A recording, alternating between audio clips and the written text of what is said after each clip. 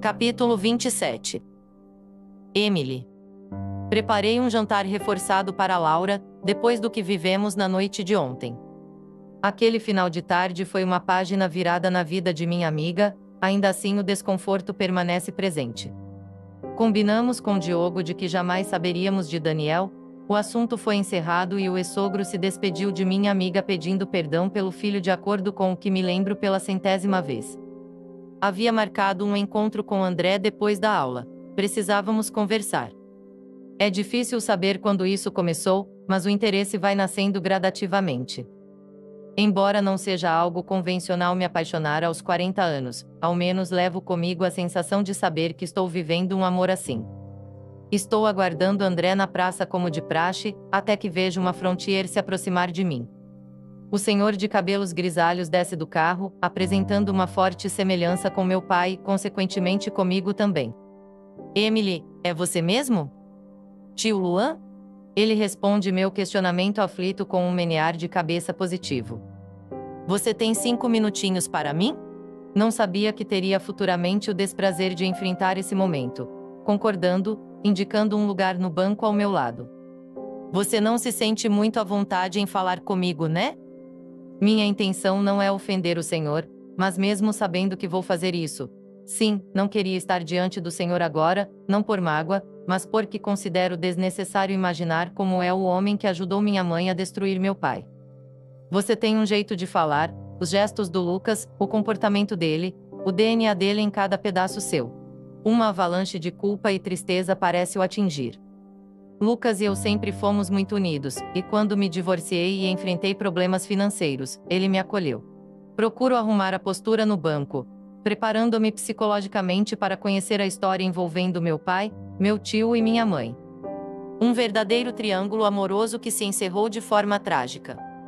O Lucas não era um homem muito feliz pela perca dos filhos, mas tratava sua mãe como uma rainha.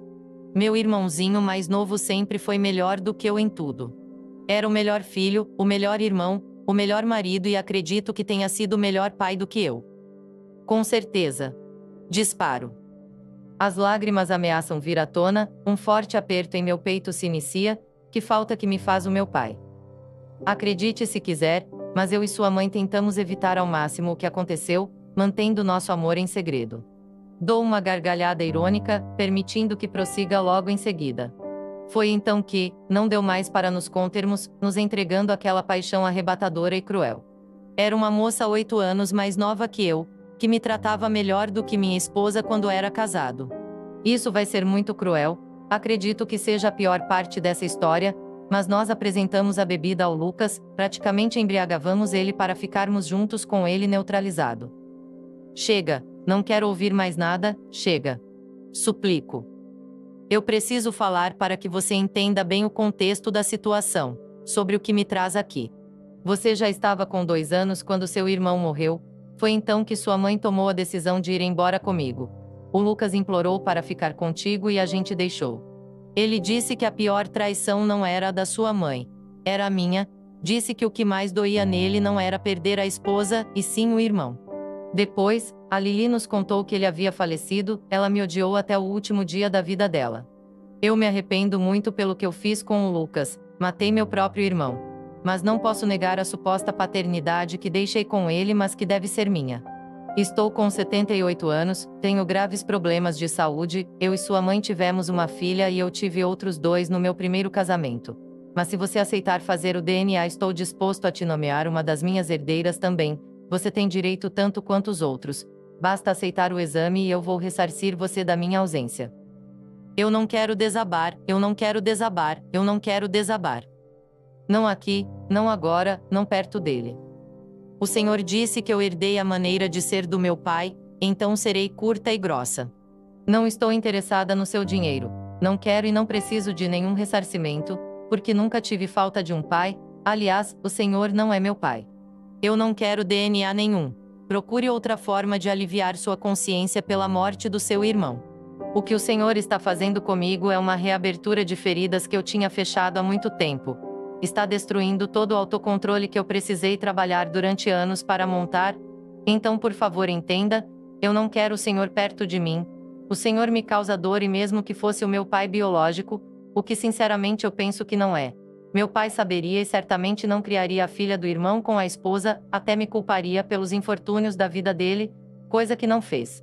Em respeito ao amor que o Senhor diz ter pelo seu irmão. Me deixe em paz, quando passar na rua me veja como sobrinha e não como filha, porque isso é uma ofensa a mim. Um pequeno sorriso triste se forma em seus lábios. Não poderia esperar outra coisa de uma filha criada pelo Lucas, além da sinceridade e honestidade. Você jamais aceitaria um dinheiro meu. Mas me tira uma dúvida: você tem a marca de nascença nas costas? A indagação abala minhas estruturas. Eu, eu tenho. Gaguejo. Só ele na família tinha essa marca, então você é dele mesmo.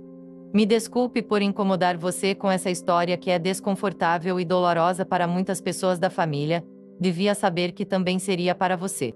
O alívio fica transparente como água em meu rosto. Está perdoado, mas gostaria que não me procurasse mais.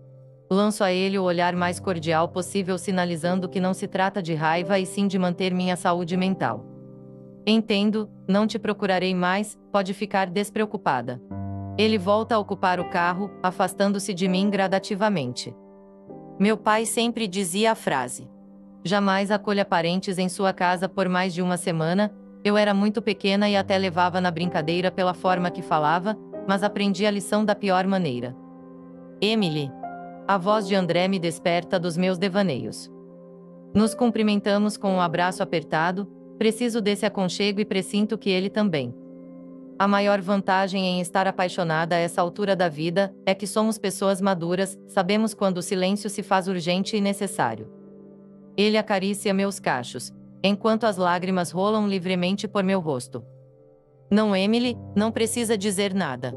Vendo que eu estava prestes a abrir a boca, André me confortou. De fato, eu não quero falar nada, só quero continuar como estou agora. Deus sabe o quanto esperei por alguém que me tratasse exatamente como André. O que reforça a minha teoria de que não se trata da idade, nem mesmo do ambiente em que vivemos.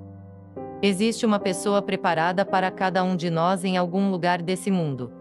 E mesmo que no nosso tempo e relógio biológico demore, Deus sempre colocará essa pessoa em nosso caminho.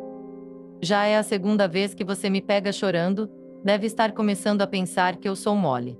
Devidamente recompostos, adentramos o carro. Você é mole. Não sou, não. Ele começa a rir. André, você quer me contar o que houve com você? Não, Emily, eu até fui àquela praça com esse intuito, mas depois do que nós dois vivemos ali, é melhor cada um ficar com seus pensamentos sozinhos, o importante é que um está ao lado do outro. Senhor, eu amo esse homem. No culto à noite, reparo no olhar de André sobre o irmão, completamente diferente. Será que já descobriu a verdade, a verdade que eu não posso revelar pois fui proibida? Queria tanto poder tirar André da angústia de saber que perdeu um filho, mas não posso, fiz a promessa de que me manteria calada pelo bem dos dois. Depois dos louvores, a pregação teve início, com a leitura bíblica de Gênesis 21, 2 até o versículo 7, falando sobre o nascimento de Isaac. Hoje eu quero falar sobre algo bem interessante: o tempo de Deus. Deixamos de lado a ansiedade de Sara na concepção de Ismael de forma precipitada. Eu quero falar hoje com pessoas que sabem que têm promessas a caminho, mas não acreditam, talvez pela idade, talvez pela condição de sua vida atual que não favorece o propósito. Sara, por exemplo, quando ouviu a revelação da promessa, começou a rir. Alguém julga ela por isso aqui? Muitos concordaram, comentando entre si. Mas nós também fazemos isso, gente, perceberam? Às vezes Deus usa alguém para falar com a gente, ou até mesmo coloca alguns sonhos em nossos corações, ou em outros casos específicos fala com a gente diretamente sobre algo que fará em nossas vidas. E a gente faz o quê? Ah, Senhor, não vai dar não, não tenho mais tempo para isso. Quando Deus falou que ia me dar a Carolina como esposa, eu ri, fiquei rindo igual uma hiena sozinho no meu quarto. Imagine, aquela mulher maravilhosa na minha vida. E eu todo capenga, me sentindo todo feio, cheio de espinha na cara. A igreja inteira riu das palavras de Denis, Carolina ficou vermelha de tanta vergonha. Precisamos aprender a parar de julgar os personagens bíblicos e, acima de qualquer outra coisa, começar a confiar no que Deus nos diz, Ele tem controle do futuro, coisa que nós não temos. Deus te prometeu a maternidade ou um casamento, uma porta de emprego, bençãos espirituais ou qualquer outra coisa que ele falou que te daria no futuro? Então confie nele. A pregação foi encerrada minutos depois com uma oração, me fazendo refletir. Tenho sido muito negligente com as promessas que Deus fez a mim. Ele me prometeu a maternidade e eu duvido constantemente, sob a alegação de que nenhum homem na minha idade vai querer um filho. Se ele me prometeu, vai cumprir independente de com quantos anos esteja. Preciso confiar mais e farei isso.